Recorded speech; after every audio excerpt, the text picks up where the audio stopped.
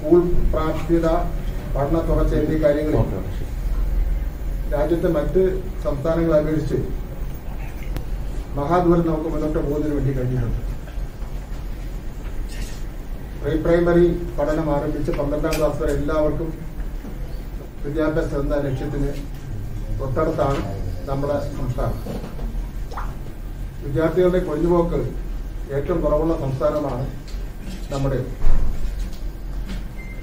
അറിവ് ആർജിക്കുക എന്നത് വിദ്യാഭ്യാസത്തിന്റെ പ്രധാനപ്പെട്ട ഒരു ലക്ഷ്യമാണ്. അതോടൊപ്പം തന്നെ ജനാധിപത്യപരവും മതേതരത്വപരവുമായിട്ടുള്ള ഒരു വിദ്യാഭ്യാസ രീതി ഉയർത്തിക്കൊണ്ടുവരിക എന്നുള്ളതും നമ്മുടെ ലക്ഷ്യത്തിൽ പെട്ട കാര്യമാണ്.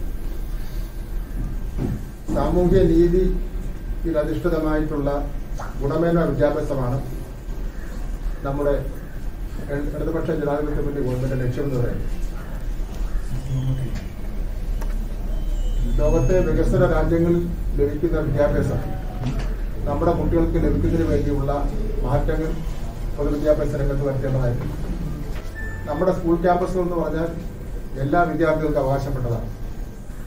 അത്തരമൊരു അവകാശ ബോധം കുട്ടികളിൽ ഉണ്ടാക്കണമെങ്കിൽ ഓരോ കുട്ടിക്കും അവരുടെ കഴിവും അഭിരുചിയും താല്പര്യവും കണ്ടെത്തി അവ ഏറ്റവും ഉന്നത ഉന്നതിയിലെത്തിക്കുന്ന ഇടങ്ങളായി സ്കൂളുകൾ മാറേണ്ടതായിട്ടുണ്ട്. അങ്ങനെ മാറ്റുന്ന ഇതിന് നിലവിലെ സ്കൂൾ ഘടനയിൽ ഇനിയും പരിമിതികളുണ്ട് ആ പരിമിതികളെല്ലാം പരിഗണിച്ചുകൊണ്ടാണ് രണ്ടായിരത്തി പതിനേഴിൽ സംസ്ഥാന ഗവൺമെന്റ് ഒരു വിദഗ്ധ സമിതിയെ ചുമതലപ്പെടുത്തിയിട്ട് തയ്യാറാണ് അതാണ് കാതർ കമ്മീഷൻ റിപ്പോർട്ട്.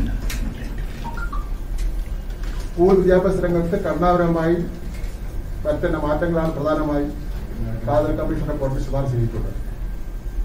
സ്കൂൾ വിദ്യാഭ്യാസ വിദ്യാഭ്യാസം വ്യത്യസ്തങ്ങളായ ഡയറക്ടർമാരുടെ കീഴിലാണ് ഉണ്ടായിരുന്നത്. ഒരു ക്യാമ്പസിൽ തന്നെ വിവിധ ഡയറക്ടർമാരുടെ കീഴിലുള്ള വിവിധ സ്ഥാപന മേധാവി മേധാവികൾ നിലനിൽക്കുന്നുവെന്ന് ഇവർ തമ്മിലുണ്ടാവുന്ന തർക്കം ഉന്നത വിദ്യാഭ്യാസത്തിന് പ്രധാനപ്പെട്ട ഒരു പരിമിതിയായി മാറുകയായിരുന്നു. ഒരു ക്യാമ്പസിൽ തന്നെ വിവിധ സ്ഥാപനങ്ങളായി പ്രവർത്തിക്കുന്നതിൽ വിഭവങ്ങൾ പങ്കുവയ്ക്കുന്നതിനും അതേപോലെ അതുപോലെ അതുപോലെ തന്നെ വിനിയോഗത്തിലൊക്കെ തന്നെ തടസ്സം ഏൽപ്പിക്കുന്നുണ്ടായിരുന്നു ഇതെല്ലാം കൂടെ ലാബുകൾ ഉപയോഗിക്കുന്ന കാര്യത്തിൽ ലൈബ്രറി ഉപയോഗിക്കുന്ന ഉപയോഗിക്കുന്ന കാര്യത്തിൽ ഗ്രൗണ്ടുകൾ ഉപയോഗിക്കുന്ന കാര്യത്തിലൊക്കെ തന്നെ വലിയ ബുദ്ധിമുട്ടുണ്ടായിരുന്നു.